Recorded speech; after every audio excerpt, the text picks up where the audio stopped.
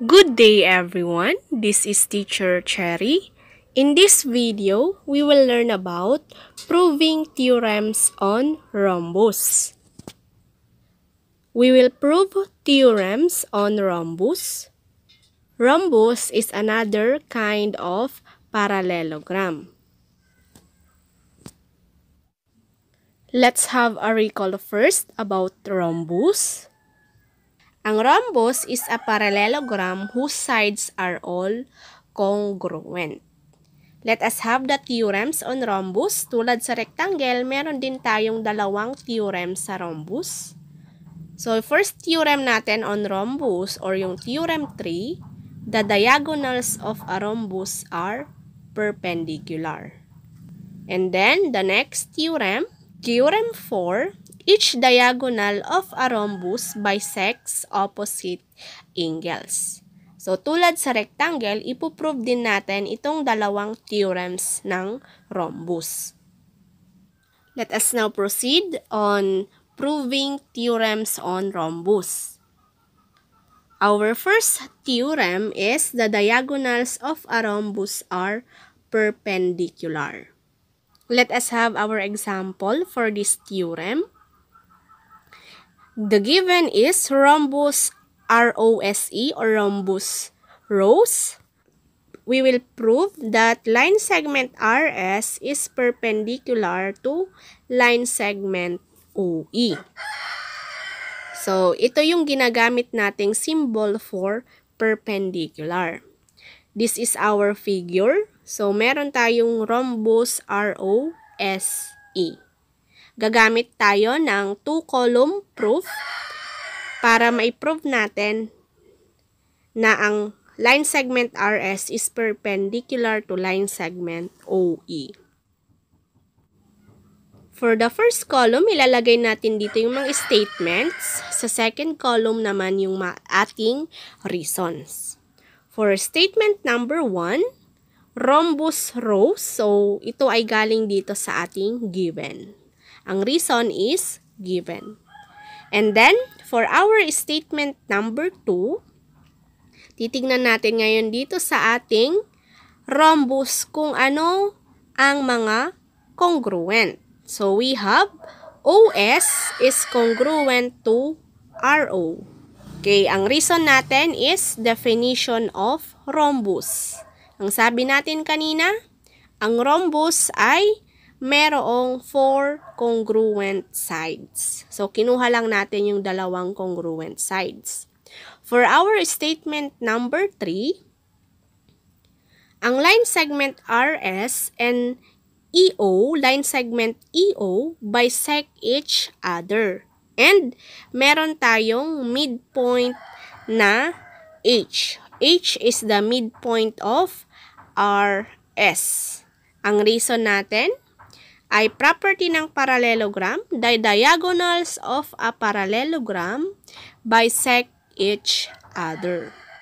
And then, for our next statement, since ang H natin is the midpoint, masasabi natin na ang line segment RH is congruent to line segment HS. Our reason is the definition of midpoint.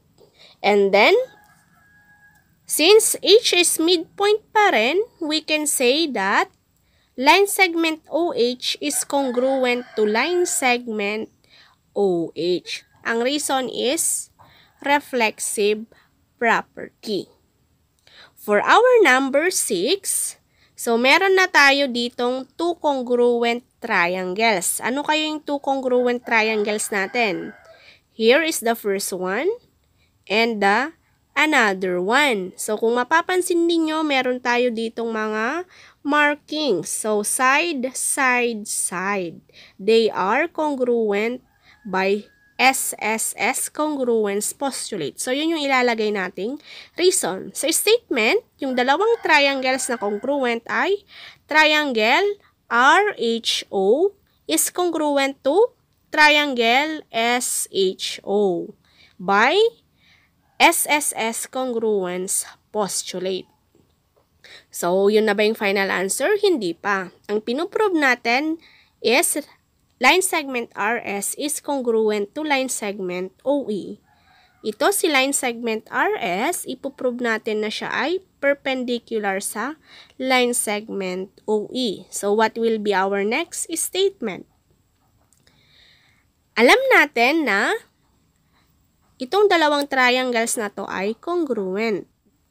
Therefore, ang angle RHO at saka angle SHO, itong dalawang angles na to ay congruent dahil corresponding parts of congruent triangles are congruents or CPC TC. Next, since ang angle RHO and angle SHO ay congruent, they are equal, therefore, ang angle RHO and angle SHO are right angles. Bakit kaya right angles? Because angle RHO and SHO form a linear pair and are congruent.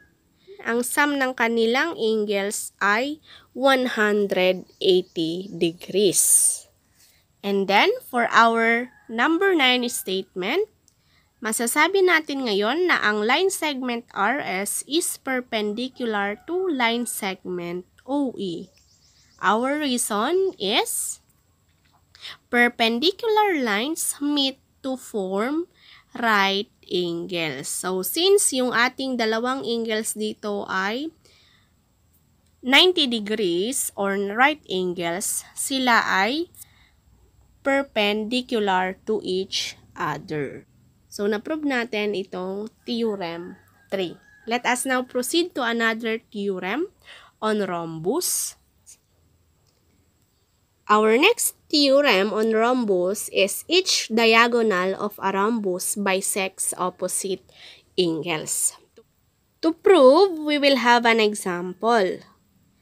Our given is rhombus VWXY we will prove that angle 1 is congruent to angle 2 and angle 3 is congruent to angle 4. We have rhombus VWXY. To prove, gagamit ulit ng 2 column. For our statement 1, so kukunin natin itong given na rhombus VWXY. Our reason is that is given. For statement number 2, tingnan natin itong ating figure. Alamin natin kung ano yung mga congruent. Ang congruent natin is line segment YV is congruent to line segment VW. Then, line segment WX is congruent to line segment XY. Because that is the definition of rhombus na all sides of a rhombus are congruent. For our third statement, kukunin natin itong isang diagonal ng ating rhombus. That is line segment WY. It is congruent to line segment YW by reflexive property. And then, masasabi natin na ang dalawang triangles are congruent dahil sa side, side, side congruence postulate. Ano yung dalawang triangles na yon? The first one is this triangle and another triangle. Ano yung dalawang triangle na yon? Triangle YVW is congruent to triangle WXY by side, side, side congruence postulate. Since congruent yung ating dalawang triangles, we can now say that angle 1 is congruent to angle 2 at saka angle 3 is congruent to angle 4. What is the reason? By CPCTC or corresponding parts of congruent triangles are congruent. Ayan, na-prove na natin yung dalawang theorems on rhombus. Let us now proceed to square. A square is a parallelogram with four congruent sides and four right angles. So, ito yung definition ng both rectangle and rhombus. Ang definition na to can also be stated as a square is a quadrilateral that is also a rectangle and a rhombus. Kapag sinabing square, pareha siyang rectangle at rhombus. Or, a square is a rhombus with four right angles. Rhombus na merong apat na 90 degrees. Or, we have a square is a rhombus with two adjacent sides perpendicular. Or, a square is a rectangle with four congruent sides. So, yun yung mga ibang definition ng square. Since na-prove na natin yung properties pertaining sa rectangle at rhombus, hindi na natin ipuprove pa yung para sa square. No further proofs will be prepared for the square. Okay, that's the end of our tutorial. Before I end this video, I would like to say a simple quotation. It does not matter how slowly you go as long as you do not stop. That is from Confucius. Thank you so much. Keep safe and have a great day.